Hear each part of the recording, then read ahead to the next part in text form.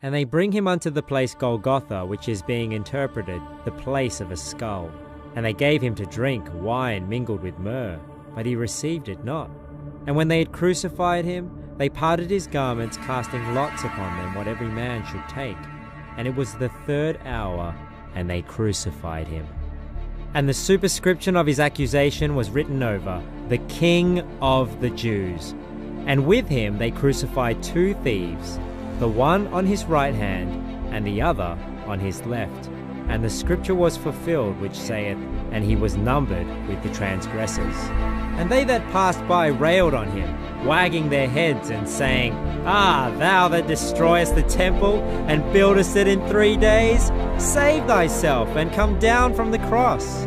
Likewise also the chief priests, mocking, said among themselves with the scribes, He saved others, himself he cannot save.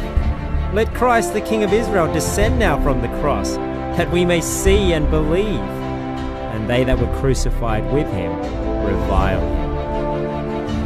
And when the sixth hour was come, there was darkness over the whole land until the ninth hour.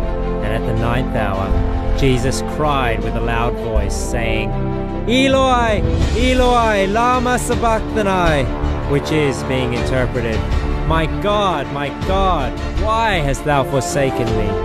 And some of them that stood by, when they heard it, said, Behold, he calleth Elias. And one ran and filled a sponge full of vinegar and put it on a reed and gave him to drink, saying, Let alone, let us see whether Elias will come to take him down. And Jesus cried with a loud voice and gave up the ghost. Veil of the temple was rent in twain from the top to the bottom. And when the centurion which stood over against him saw that he so cried out and gave up the ghost, he said, Truly this man was the Son of God. And when the Sabbath was past, Mary Magdalene and Mary the mother of James and Salome had bought sweet spices that they might come and anoint him.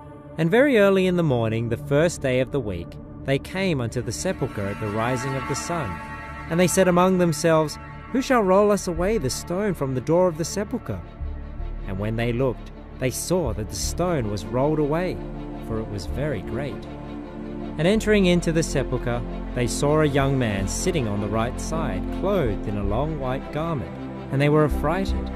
And he saith unto them, Be not affrighted. Ye seek Jesus of Nazareth, which was crucified. He is risen. He is not here. Behold the place where they laid him. But go your way. Tell his disciples and Peter that he goeth before you into Galilee. There shall ye see him, as he said unto you. The story of Easter Jesus' sacrifice. This is Jesus, Heyo! who is the Son of God and the Savior of the world. While Jesus was on earth, he taught everyone about God's love and healed people from their sickness. He did many miracles like calming storms and even raised people from the dead. Uh, wahoo! The Jewish leaders and teachers did not like what Jesus was doing or how he claimed to be the Son of God. And so they made a plan to arrest him to get rid of him once and for all. Judas, one of Jesus' disciples, agreed to betray Jesus Ah, come in, come in. and give him over to the religious leaders for some money. Jesus was in a garden praying, and Judas showed the man who Jesus was. Jesus was arrested and taken to the rulers of the land so that they could decide what to do with him. Jesus was presented before the high council, and they asked him if he was the Messiah, the Savior of the Jews. They asked him if he was claiming to be the Son of God.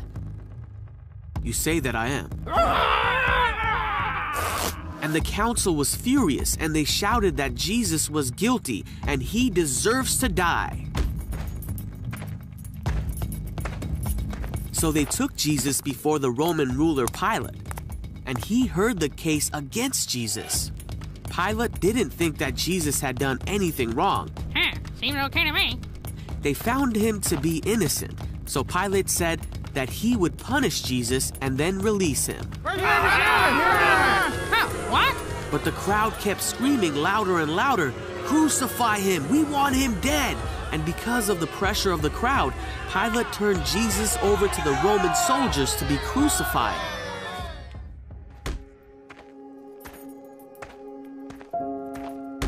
Jesus was hurt and spit on. His clothes were torn and taken from him, and a crown made out of thorns was put on his head. He was beaten so badly that he could barely stand on his own. And then he was forced to carry his cross so far up a mountain that he needed help because he could not do it on his own. Once Jesus made it to the place where he would be crucified, called the skull, the soldiers around him nailed him to the cross and waited for him to die. While Jesus was hanging on the cross, many people shouted to him, If you really are the Son of God, save yourself from the cross. But Jesus knew he had to die to forgive his people for their sins. At noon, darkness fell across the whole land. Three hours later, Jesus took his last breath and finally died. At that very moment, the curtain in the temple that separated the priests from God's holy place tore in two. A soldier watching the whole thing said, This man truly was the Son of God. Then a righteous man named Joseph came and placed Jesus' body in a tomb. Three days passed, and it seemed that there was no hope. But very early on Sunday morning, the woman who cared for Jesus went to go visit his body and found that his tomb was empty and that he was no longer there. Don't be afraid, said an angel. He is not here. He is risen. At this, the woman remembered that Jesus had told them that he would rise again on the third day and ran to go tell the disciples what they had seen and heard.